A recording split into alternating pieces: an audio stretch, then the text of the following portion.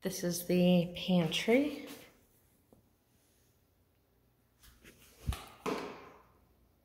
Dining area. Dining area also has a bump out. Kitchen is laminate countertop.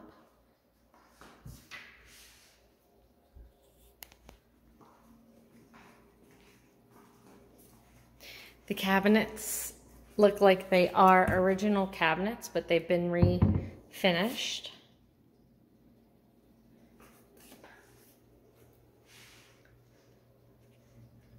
So a little bit of marking on the backsplash.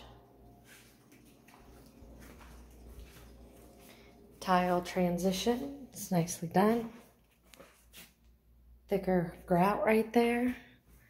This is bedroom number one, average size, ceiling fan.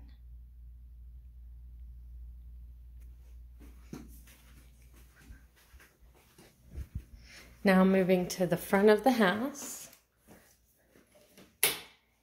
Have a full bathroom. Tub shower with tile.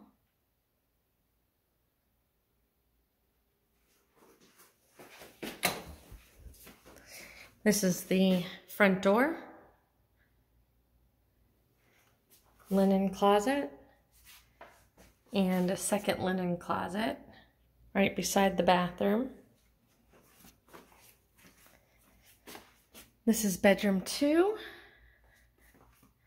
A little bit smaller than the first one. And then bedroom three.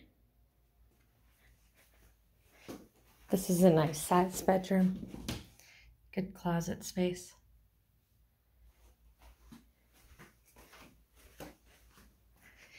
And then this is what we call a split floor plan.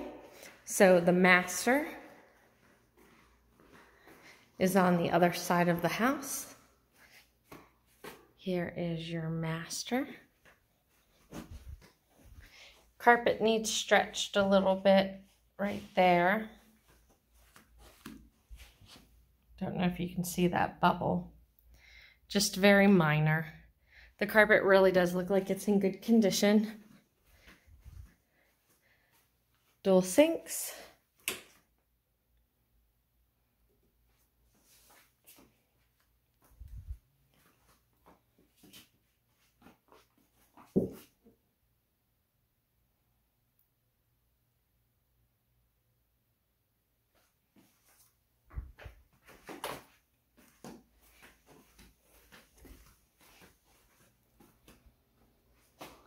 Just give you an idea of what it looks like from here.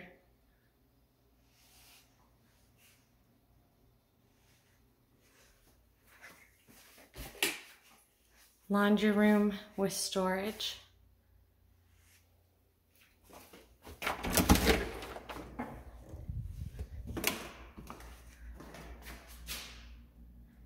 All right, normal garage older hot water tank, but hot water tanks really aren't that costly. That's your exhaust for your dryer. That's your water softener.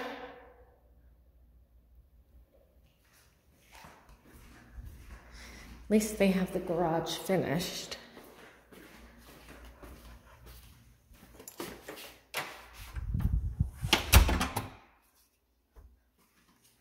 And let's check out the backyard.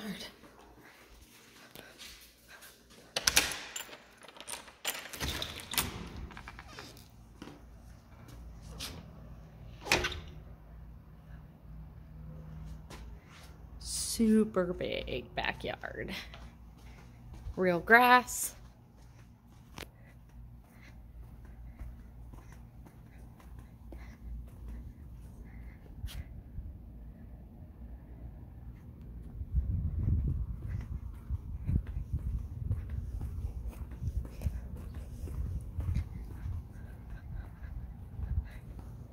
Plaster pool, self-cleaning, super deep. Looks like it's in good condition.